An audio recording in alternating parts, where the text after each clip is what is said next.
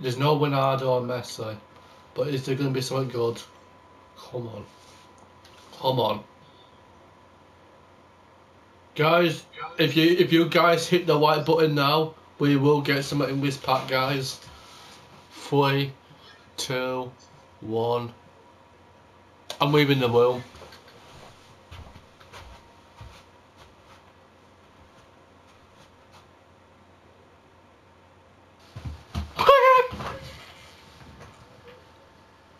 I know it's. I know it's. I got Arsenal, but I got a, I got a left back who was 90 weighted, 90 pace, and 97, uh, well, 87 fucking defence. I'll take it. How much is it worth? It's that fucking fucking kid. He's worth 400k. I'm done. I, I, I'll come off FIFA.